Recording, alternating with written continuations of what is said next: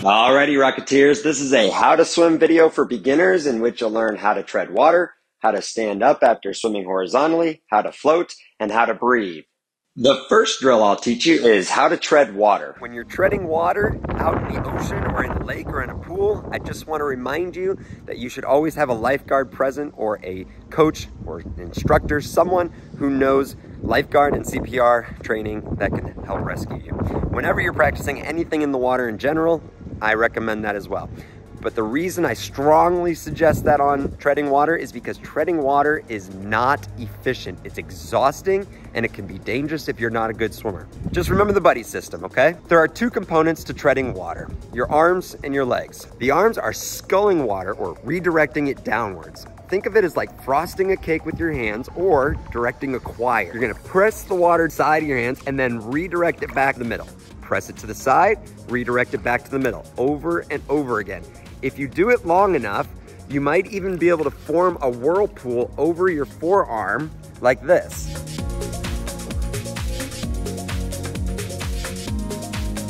Now the most common mistake beginners make with their arms at this step is spreading them out too wide. Keep them kind of close to your body. Keep your elbows bent. You don't want them straight out like this. And really small movements with your hands, okay? Don't cover a lot of ground. Smaller movements with your hands are a little easier to maintain. The second part of treading water are your legs. Now your legs do an egg beater kick. An egg beater kick is like a breaststroke kick, but one leg at a time. You're redirecting water downwards with the inside of your shins and your calves and your ankles, okay?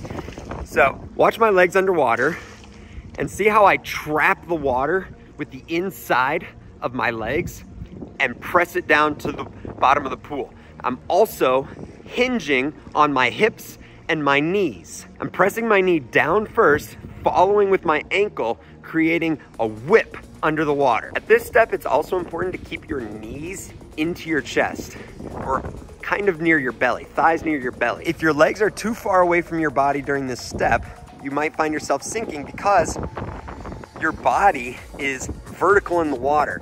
And when you're vertical, all your weight is going straight down.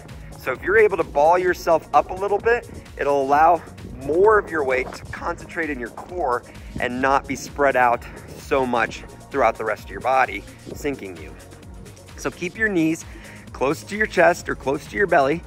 Keep your hands also close to your body. And then the last tip I have for you with treading water is to slightly lean forward. Get your hips behind you a little bit and lean forward. It makes it a lot easier if you're trying to stand straight up and down, already I've had to start kicking harder just since changing my position. This is harder for me to do. I will not last very long. If I'm slightly angled with my face forward and my hips back, it's a lot easier for me to tread water for a longer period of time because I have more surface area spread out in the water. So remember, when you're treading water, the three key elements are Small hand movements, redirecting water downwards. Legs close to your body as you kick the water with the inside of your shins and lean slightly forward and you'll be treading water. All right, now let's move on to the second drill, which is how to stand up after you've been swimming horizontally, either on your back or on your belly. When you're on your back, the best thing you can do is sit up in the water, kind of like you're sitting up in bed. Drop your hips underneath your belly, bring your knees to your chest, and pick your head up.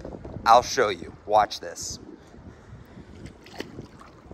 Pick your head up in the water, sink your hips, and draw your knees to your chest.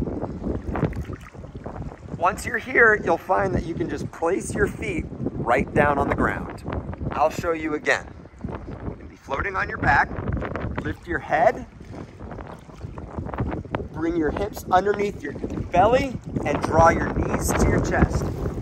You might also redirect the water downwards with your hands. That will help. If you redirect the water downwards with your hands, that will also help you get up without any water splashing over your face. So I'll redirect water downwards with my hands. I'm gonna pick my head up, sink my hips underneath my belly, and draw my knees to my chest. Then you just place your feet flat on the ground. From your belly, what you'll want to do is draw your knees into your chest first, then lift your head. So the order is a little bit different. Draw your knees to your chest first, then lift your head and press down on the water with your hands. Okay? Now, I also recommend that you do this with your hands out in front to start, not behind you. So I'll show you floating in the water on my belly, hands out in front. I'm gonna draw my knees to my chest first, then lift my head.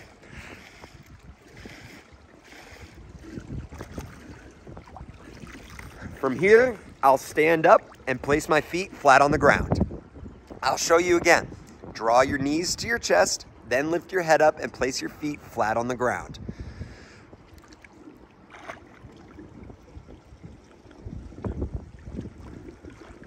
Moving on to floating for survival and relaxation purposes. We're gonna learn how to float on our back and on our stomach. Most of the times, beginners have a hard time floating because they, they think their legs are sinking and that's not floating.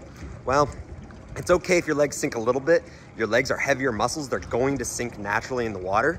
I'll teach you how to keep them up in this video. First thing you do when you're floating on your back is make sure you have lungs full of air.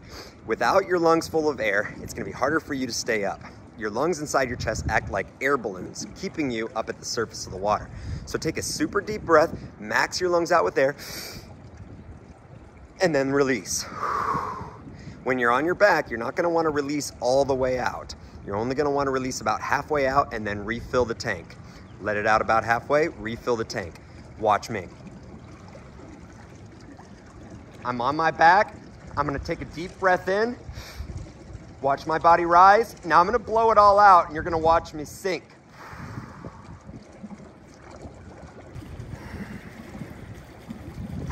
I need to keep my air in my lungs for me to stay up. So this time I'll only blow out about halfway. Watch. Take a deep breath in. Body rises. I'm gonna let it out about halfway. Now I'll hold it here. You'll notice I don't go underwater but you're not gonna wanna hold it halfway out. You're gonna wanna breathe it back in. Body comes back up. Let it out about halfway. Breathe it back in. Now, you don't have to be as aggressive with your breaths as I'm being for dra dramatization so you can hear it and see it. But when I'm on my back, I wanna be relaxed, okay? So it'll look a lot like this once you've mastered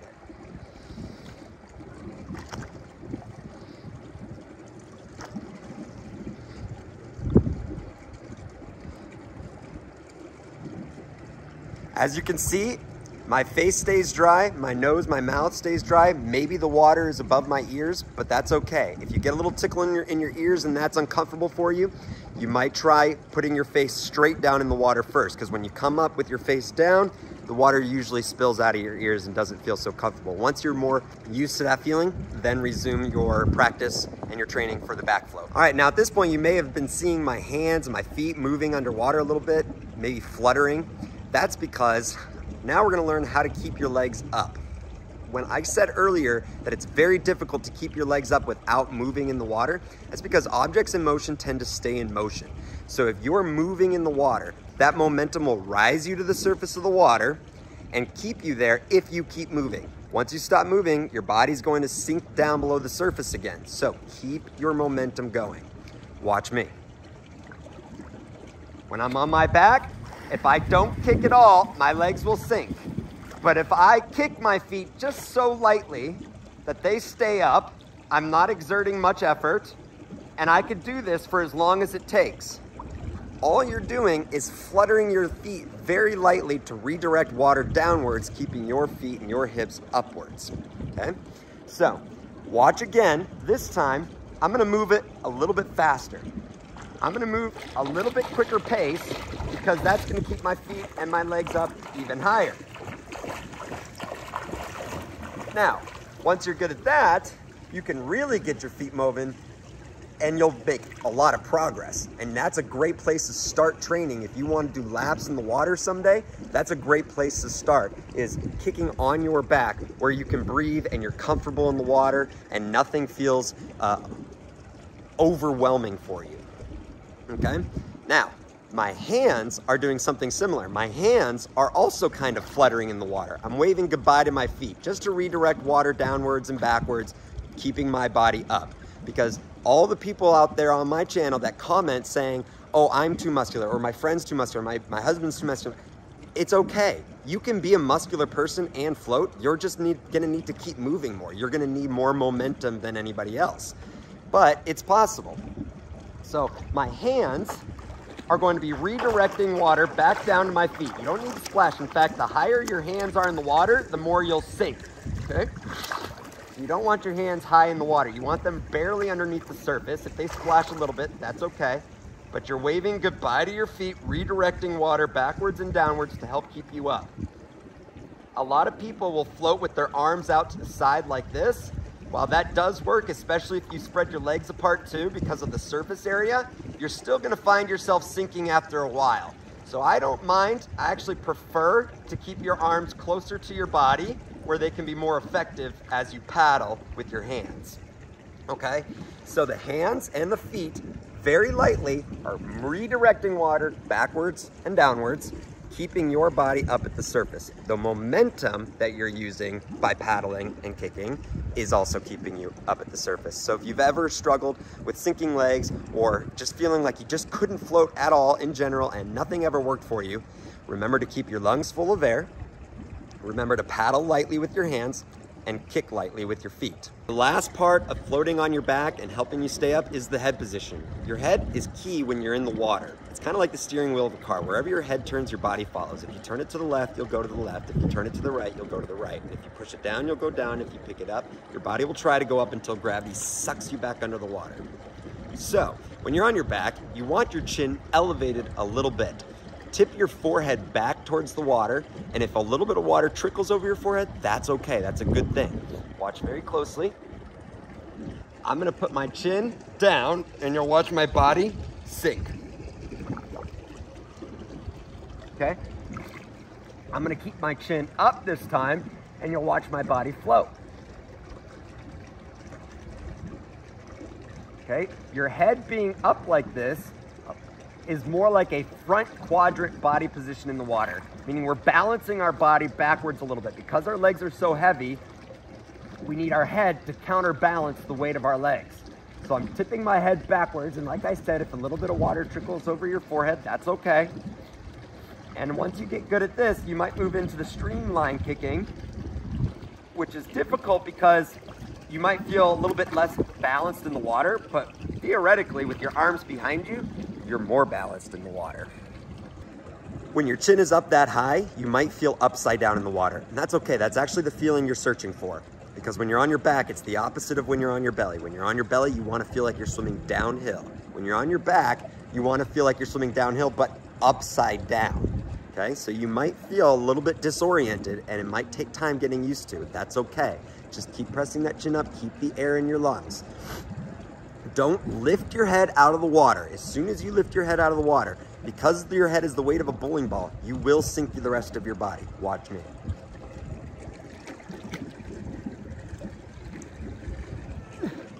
It's not easy. I almost could keep it up, but it's definitely not easy. And unless you're a swimmer who's, who, who swam for 17 years competitively, that will not be easy for you either. The last drill in this video is how to breathe, mostly in freestyle, but also in breaststroke. A lot of people have a hard time breathing to the side when they swim or breathing in front of them or in any way, shape, or form. They struggle getting their air when they're in the water. Today I'm gonna teach you how to get that breath in each stroke and when you're swimming on your belly or floating on your belly. The most common mistake I see beginners make when trying to breathe in the water is they need more than one breath at a time without realizing they need more than one breath. That means they haven't learned or practiced how to space their air out so that they only need one sharp breath at a time any given time they lift their head out of the water. So that's what we're gonna learn first. We're not gonna learn how to breathe to the side just yet but we are gonna learn how to take one breath at a time. We'll start with a kickboard and needing two breaths and putting your face back down in the water and continuing to kick. You'll take two more breaths, face back down, and continue kicking.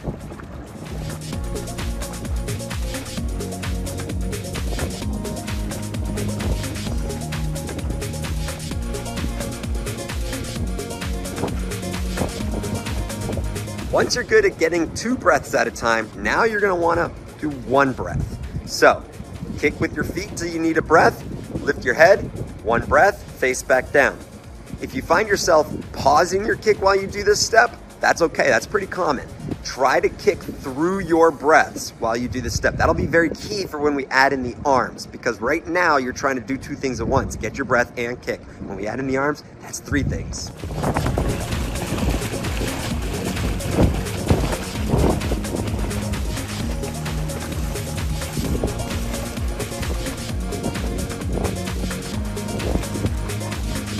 Now we're gonna learn the pineapple.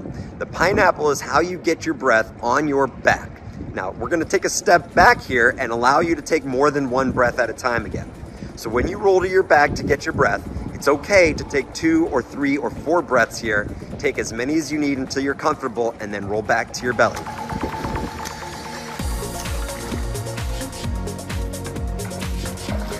Now, when you roll to your back for your pineapple, you're gonna take one breath and one breath only. Once you've got that good breath, roll back to your belly and keep swimming.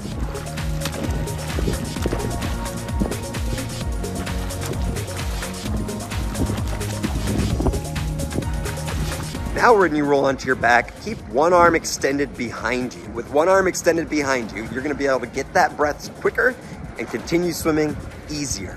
It's also gonna keep your body balanced in the water. That front quadrant swimming is always what we're looking for to keep our body balanced. That'll help counteract any sort of sinking legs that you might be having.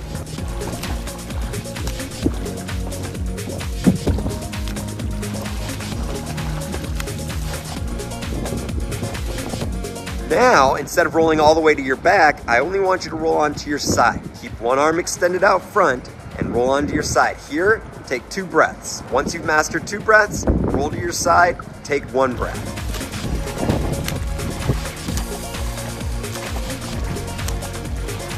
Exhale under the water and inhale to the side, cutting your breath time in half so that when your arm is coming over your head, you don't get any uninvited water over your face.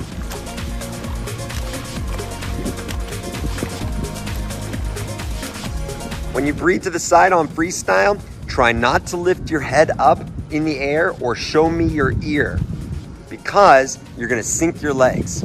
It's best if you can keep your head on your arm, ear on your shoulder, and maybe one goggle in the water, one goggle out, maybe both eyes, but keeping your head down in the water like that is very key. You don't need to lift your head out of the water. In fact, I've, I've found that when people lift their head out of the water, sometimes they'll choke on water because your mouth is on your chin, not your forehead. So if you're lifting your forehead up, your chin's dropping. Rather, keep your forehead tilted down so your chin pops up.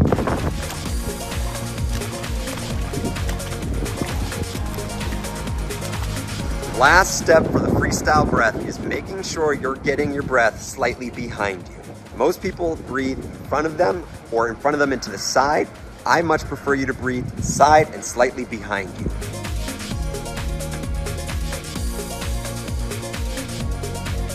Now, if you're not quite ready for the freestyle breath, or you might find it a little too challenging, then start with the breaststroke breath. The breaststroke breath is easier for most because it's in front of you, which is more natural for humans. They want to see where they're going. They want to be breathing in front of them, not behind them. That's okay. If you're more comfortable with that, start there. It's also easier because you can take two breaths at a time if you need to without panicking. And once you've gotten good at that, blow your air out underwater, breathe once in above the water, and you'll feel really, really smooth. The only drawback to the breaststroke breath is that you're lifting your head up out of the water. That is going to sink your legs. So unless you are a strong breaststroke kicker or just a confident swimmer, you might find the breaststroke breath difficult as well but I still recommend you try it. Once you've got your air, put your head back down below the water and below your arms to let your body rise back to the surface. Thanks for watching this video. If you appreciate it, splash that like button, subscribe to the channel, and follow us over on our other social media channels for more content throughout the week.